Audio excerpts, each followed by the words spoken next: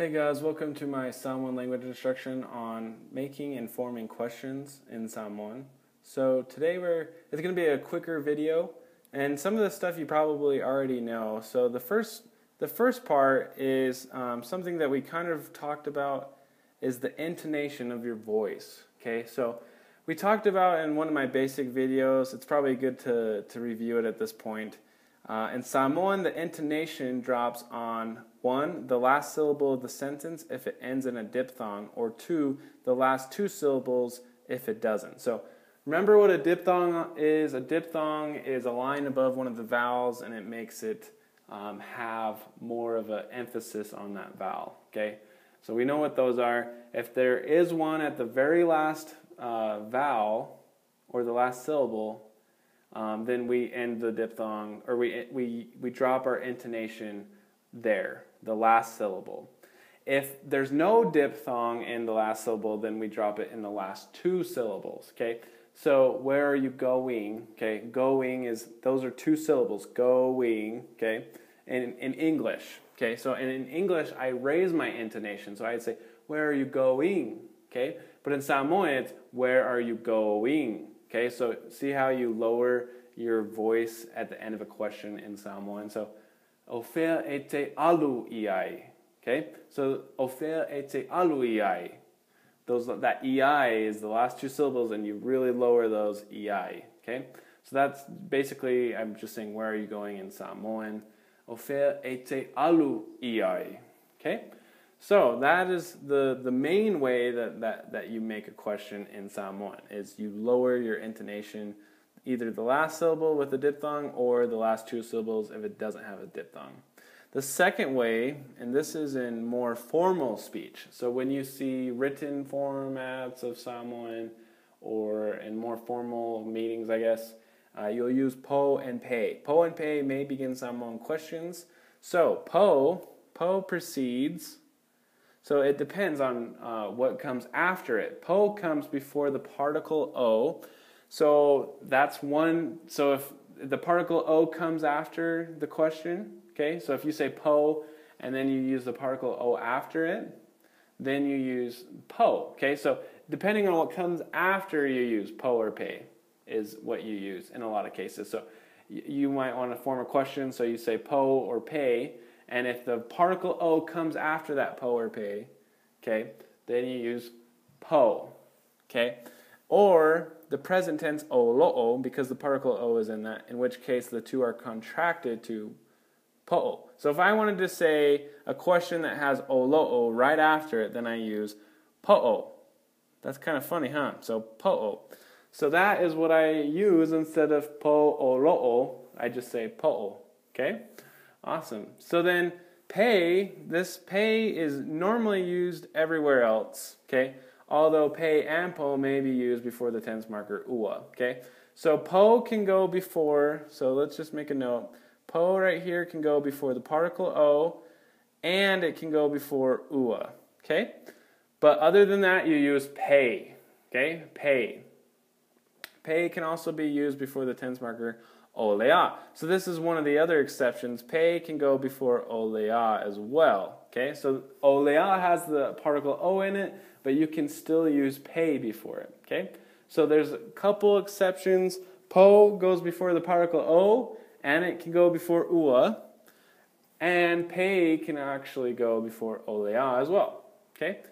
But the particles po and pay are optional in forming questions and are usually omitted in informal speech. So everyday talk, you don't really see these po and pays a lot in this form.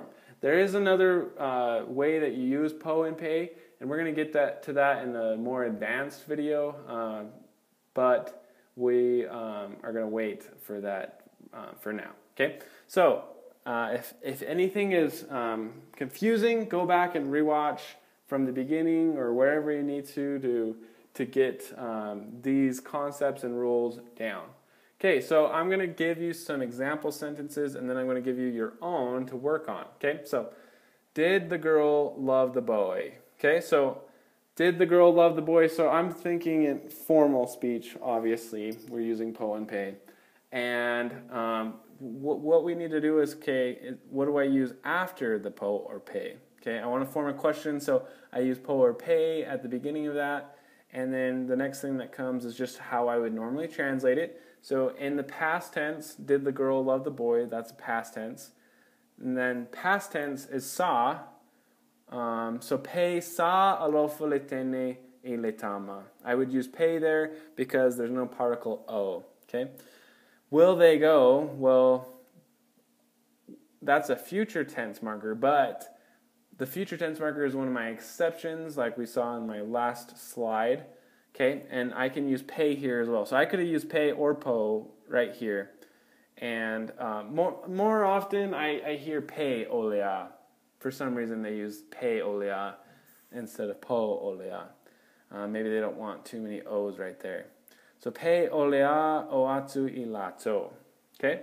So then my next one is the girl sleeping. Right now is she sleeping? So I'm using the, the tense marker olo'o, and I want to form a question with that. And olo'o has the particle o, so it would be po olo'o, but as we saw in my last the last page, you just combined po olo'o to just be po'o. Po'o moi le tene. Po'o moi le tene. Okay? So that's that's one example. And then another example is that a new book? Po'o se tusi fo lena tusi. Okay? Our, so that's another combination of po o lo. And then did you go to the bathroom? So what what do I have? I have my tense marker that's sa pe sa alo oi ile fale wila. Okay? Awesome. So that is the example sentences I'm going to give you. So I'm going to give you, this time I'm going to give you the Samoan, and I want you to convert it to English. But just remember, in these sentences that I've given you, just remember, okay, why did he use a po there, and why did he use a pay there? Okay?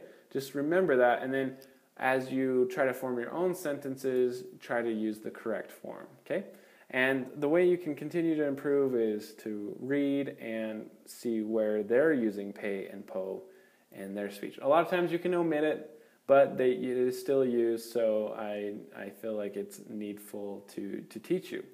Especially when you combine po o lo'o, it's po. What does po mean? Well, now you know it's po o lo'o. It, it means I'm forming a question with the tense marker o lo'o. Okay. So here's the, the ones that I want you to, go, to work on in the bottom table and uh, work on these and pause the video and try to, to translate these into English. Okay, so I hope you were able to pause the video. Um, and if you didn't pause the video, guys, I can't stress enough the time that you actually learn is when you're trying to work on it yourself, okay? And if you work on it and you can't come up with it, try to try to get it as good as you can Work on it for a few minutes. If you can't get it after that, then refer to this video and, and see where you went wrong. Okay? But if you don't take the, the time to work on it yourself, then you won't get that problem solving skill that you need to, which you need in, in, uh, in learning a new language. Okay? So here's the answers to that. So they're the same as this bottom. Po se fai oi. That is, are you a minister or a missionary? Okay? And Pesa Tau Tatala Ila Ua Ile Falesa is did those two talk at the chapel? And then Pe Sa Vala Au Faya Unga Ilana Soa did the teacher call his companion? Pe Olea Mamoi Faifiao Ile Fale Oti Ulu. Are the missionaries going to the to sleep at the barber shop? And Po'ota Moe Oia Ile Fale Ta'alo. So this one isn't a question, so I don't need to lower my uh, the inflection of my voice. But uh, oh, actually, it is a question. Sorry, um, I should have a, a, question mark right there. I don't know why I don't. Um, but right here needs a question mark. And so po'otamo'ioia ilefale ta'alo is he, she running to the gym. Okay, so sorry I didn't have a tense or a question mark right there. Uh, but I feel like, um, I mean, it's kind of a small mistake.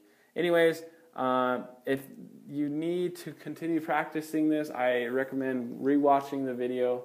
Um, your best friend when you learn a language is repetition, so rewatch and here is some vocabulary that I want you to work on, okay? And I feel like all of them are pretty uh, easy to pronounce at this point. Um, the one that I think that you should work on um, that, that might be a little bit tricky is the word to smile or to laugh.